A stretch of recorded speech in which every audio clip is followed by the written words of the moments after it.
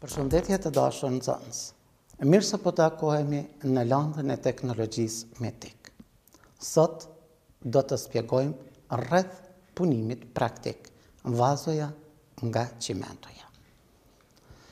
Rezultatet e të nxënit të njësisë mësimore.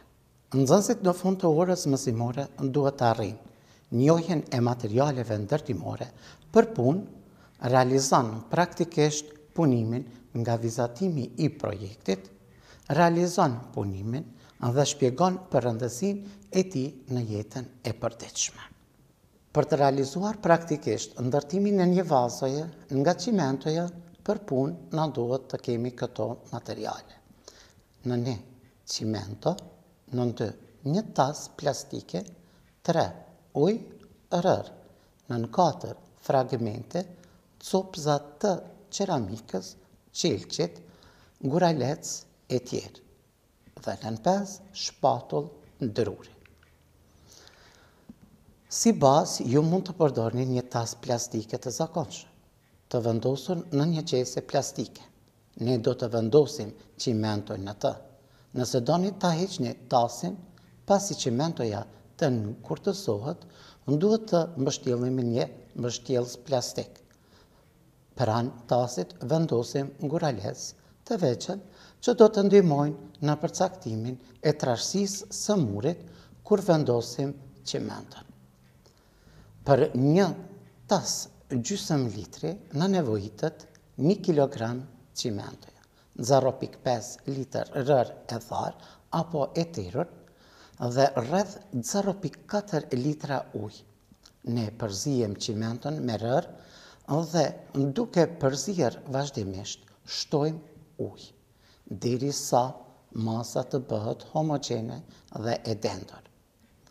Masa duhet të jetë aq e trashë sa të mos derdhet poshtë në duar. Nëse është e nevojshme, shtoni çimento. Në tas, gjithçka aplikohet nga lart poshtë. Trashësia e murit duhet të jetë së paku dy deri në tre centimetër. Mbuloni gradualisht tërë tasin me çimento. Duart me doreza rregullojnë vazhdimisht muret.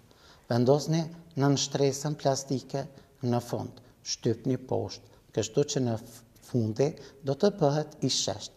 Në këtë rast mos harroni të lini një vrimë për ujë. Në çimento ende të butë ne vendosim guralecë, fragmente qeramike etj.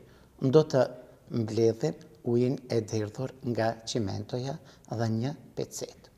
Kështu që vazoja me lule të jetë e qëndrueshme ne do të bëjmë atë katërkëmbë Për ta bërë këtë, ne marrim katër guralecë me të njëjtën madhësi, të cilët i shtypim përgjatë skajeve të pjesës së poshtme të vazos.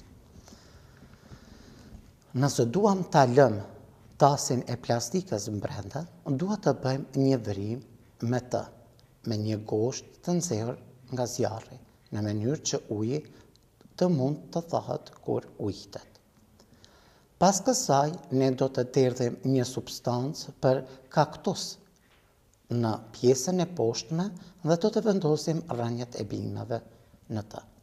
Hapësira midis rrënjëve është e mbushur me dhe. Mirëpo, ne këtu po paraqesim edhe disa ide të cilat ju mund t'i realizoni.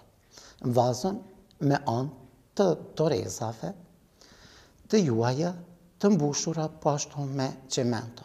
Forma të cilat i shifni nga masa plastike figura të ndryshme dhe ato mund t'i mbushni me çimento dhe t'i krijoni si vazo. Të dashur nxënës, për detyrë shtëpie duhet të punoni një punim praktik një vazo nga materiali i allçisë apo gjipsit. Përmasat dhe formën i caktoni ju. Detyrën me një fotografi e dërgoni tek mësimdhënësit e juaj.